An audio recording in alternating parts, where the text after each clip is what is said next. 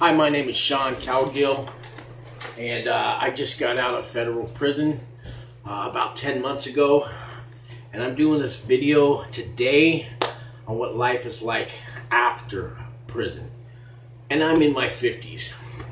I also went to a federal prison camp, which is a lot different than most of your hardcore prisons that are full of gangsters and bank robbers and all that. It's a lot different. I was at Club Fed. I did a white collar crime. I did false tax preparation. I ripped off the government. I stole a bunch of money from the IRS.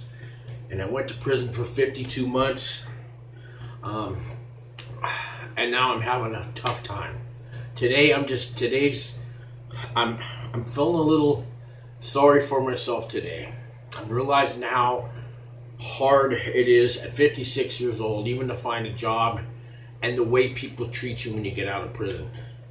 Um, so, you know, I, have been I made a few videos my first day of prison and all that, and I was trying to help out the guy who's on pretrial and is facing going to prison. Maybe he got indicted, and the white collar guy who's going to go to a camp or a low. And my whole point is not to be scared. You're going to make it through. And nobody's going to beat you up, and nobody's you don't have to be anybody's bitch. And you know, as a matter of fact, I got I got a message from my guy yesterday on my about my YouTube video. We swapped phone numbers. We talked on the phone yesterday. He's got to turn himself into Florence tomorrow to the camp, and he's scared like I was. And I was able to maybe put a little hope in this guy's life that your life's not over. It's just part of the journey, and you're going to get through this. You're going to come out alive.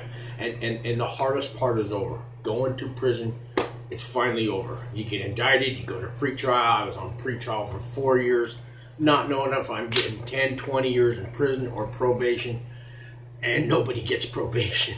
I mean, maybe one out of 100 people get probation. When the feds have got you indicted, you're going to prison. I, I, that's that's life. It's something you got to face, and I've been trying to make some videos on that. I got one about the pretrial stress. Today's video is about what happens after prison. So, yeah, I was holding up this picture because, yeah, I graduated from the RDAP program. That's a, a, residential drug and alcohol program that they have in federal prison. Um, it's not available to the penitentiary, but it's available to the other three level levels, the camps, the lows, and the mediums. And they, and they give you a year off your sentence. They also let you go out early to go to a halfway house, six months on that. And um, and going to prison can be tough. So, unlike you know a bank robber, a guy who robbed a liquor store, a guy covered in tattoos, you know, and these guys you see that did 20 years in prison. Um, I'm not like that. Okay, I didn't get hard. I didn't come out. We didn't have any politics. I, I didn't have to. I could. You, could be on your own. You don't have. There is no joint gangs to join in a, in a camp. A couple couple groups that think they're a gang, but anyways, that's another video. Um, it's more like going to high school. Um, and the thing is, I almost wished I robbed a liquor store, robbed a bank, and got out of prison. Because it seems to me like society's more willing to forgive a guy like that and help him out and give him a job than a white collar guy. I did wire fraud. So my trust is gone. It, it's like us white collar guys, we get okay. We've already lost respect from our family and our employers and our coworkers, and the society who knew us before we went in. We get our name in the papers, and no, and you find out who your friends are. They all back away. Family doesn't want to talk to you. You know, I had a fiance who left. Um, you know, just people leave your life. They run away, and then you go to prison, and then you get out, and you think well, it was only a white collar crime. They're gonna hire me. Nobody's gonna. It's it's not like that. Wow. To build trust back up, because they're looking at me like I'm a weasel. I'm a scumbag. You look at all these Trump's friends who go. Well, this Michael Cohen guy, I thought he was a scumbag to begin with, but now he's out and stuff. But nobody's going to trust him. Nobody wants to be part of that guy's life. I mean, maybe his family does and stuff. And I'm way down on the bottom of the white collar crime. I just did some tax preparation fraud, and, and the guys I did it for were drug addicts and homeless guys. I wasn't a big time stockbroker, banker, lawyer, You know, I wasn't a whole high profile. I didn't have millions of dollars. I've been working in restaurants all my life for 30 years. And I've worked hard and made my way up to a chef and a restaurant manager. And with all that hard work and the 30 years of experience, I can't find a job. But it's also a pandemic. I had a job at the halfway house when I got out for a little while and I was I was cooking at a drug program. I was getting 19 bucks an hour. It was out in San Francisco, but that all closed down and now I've been on an unemployment for like nine, eight, nine months. I apply all the time for jobs, you know, but I get this criminal record. Um, I had some interviews for some restaurant manager jobs, but it came down, okay, we're going to do a background check. You know, and, and I, before I even start an interview, even on my resume, may I put down that I've done some time in federal prison because I don't want to waste my time going through three interviews and then finally uh, having to tell somebody about your criminal past. It's on my resume. It's not in big bold letters, but it's in a little it's in a little paragraph about myself. And I know it's stopping me, and I'm just throwing my resume in another pile. And I'm already in my 50s. You know how hard it is to go to prison in your 50s? And I lost everything I had, which I didn't have much because I've never been able to get ahead in life anyways. I've had a drug and alcohol problem all my life. And I've already lost family and friends and, and loved ones because of the drugs and alcohol. And I've been at plenty of drug rehabs. You know, I finally got almost four years clean now, and I've been in a couple programs in prison and on pretrial, and uh, and it's tough. The way people, I wish I was a bank robber. I wish I was full of tattoos and hard, and it seems like guys like that, at least, they get the heart, the sympathy, the the they get they get second chances. People will hire that guy on. They want to see him change his life. They trust a guy that's been a bank robber or in a gang all his life and done 20 years in, in a penitentiary. It seems like to me they'll trust hiring a guy like that rather than a weasel scumbag manipulator of the system, the guy who did white collar crime. I, I, I got to work 10 times as hard to get somebody's trust especially somebody who doesn't know me. And family, my mom's side of the family wants nothing to do with me. My dad's side of the family has taken me back, and I don't even know how much they trust me. But they trust me enough to call me all the time, and they're, you know, I'm, I'm welcome there at Thanksgiving and stuff. But um, do people really trust you? And the people I meet, and you know, I live in a clean and sober house here with a bunch of guys that are, you know, doing AA thing and um, and there's even a thing when they find out you've been to prison, you know. And then when they find out I've been to federal prison camp, and I and I tell them it's not like a real prison, we had no fences, you know, and they look at me like, okay, we, we better hide our our our uh, so you know, don't leave a credit card around this guy, don't leave your driver's license, don't leave your social security number where this guy could find it, you know. Um, the guy who robbed the liquor store, they're good, they're more likely to trust him. A guy like me you know, everybody's worried about it. And I don't blame them. I don't blame them. But it's tough, you know. So in federal prison, I took every possible course you could get. I, I just want to show you. Here's uh, my RDAP certificate. Here's a certificate for uh, another drug education abuse program I took. Uh, this is a non-residential drug program I took. This is on the ACE classes. Uh, so this one is uh, trading options. I don't know. I don't remember that one. Um, ancient Rome. Uh, film review. uh, getting out by going in. That's one of the re-entry courses they had to take.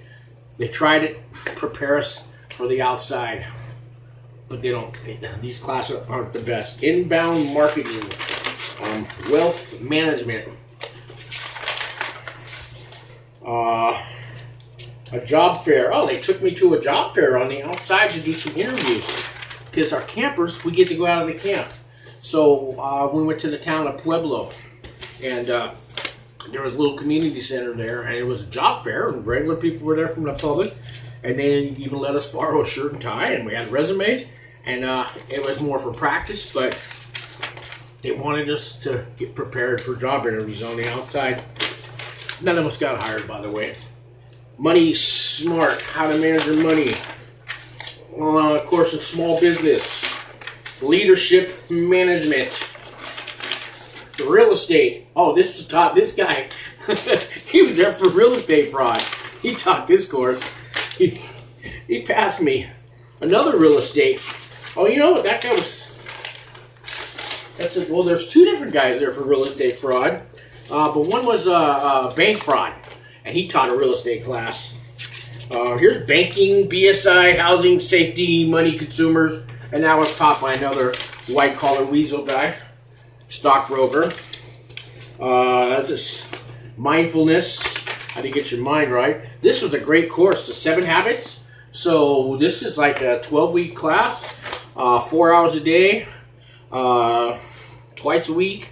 And, uh, you know, in the book, Seven Habits, uh, uh, Seven Habits of Highly Effective People, they wrote another book. Covey Jr. wrote a book called Seven Habits of Highly Effective People on the Inside, made for prison inmates. And so they have a whole course on that. And, and we get the real certificate, the one that your company might pay you $1,500 to go to for the weekend and put you up in a, seven, a seminar and get all that. Well, yeah, I got that for free. I've also got a career technical program. I got my certificate for restaurant management. I've got another culinary certificate here because uh, they have a culinary arts program. I've got my ServSafe cert certification. It's good for five years. It's still good for four more years because I just got out a year ago. Um, and another one for restaurant management. Um, I've also got 30 years experience as a restaurant manager and a chef, and I started off as a busboy, and I've done everything from a waiter to a cook to a line cook to a prep cook to banquets to catering to room service. You name it. I've worked in hotels and restaurants. And every time I got somewhere up in my career, I blew it by doing drugs and alcohol and lost the job. And here I am, 56 years old, just out of prison, making a video about how hard life is for me. But my point is, for the guy who's out there, I was told by a man named Walt Pavlo, who's got lots of videos, who also went to prison, and now he is a professor at a university right outside of Boston, teaching criminology. And uh, he used to do some prison consulting. I'm not sure if he's still doing that, but I, I talked to the guy oh every couple weeks. Um, he helped me out because he had videos on YouTube. He also put $100 on my books every month while I was in prison. I didn't have money to hire a prison consultant. And that's why I'm making these videos to give back. Um, the bottom line is, I made this video. I don't feel so bad about myself now. I got a friend I made yesterday that's to go do three years at Florence Prison Camp tomorrow. And uh, I'm to give him a call before he goes in tonight and uh, reassure him everything is to be okay. We're to get through this. The hard part is, you know, accepting what you did, taking accountability, um, being honest with yourself, and, and maybe in time, trust will come back from these people, and these maybe my mom's side of the family will talk to me. Maybe some friends will come back, and maybe I'll forgive them because I also, when they leave, I get mad and angry, and um, and maybe there's a God and He has a plan, and He won't tell me what it is because if He did, it would ruin everything. Um, but we do have a tough time when we get out of prison. So anybody that hasn't been to prison, and you run into somebody who who who has been to prison, whether they're hardcore with tattoos, robbed a bank, or whether they were a doctor that gave away too many, you know, prescription for opiates, or they were a stockbroker, or they prepared false taxes like me.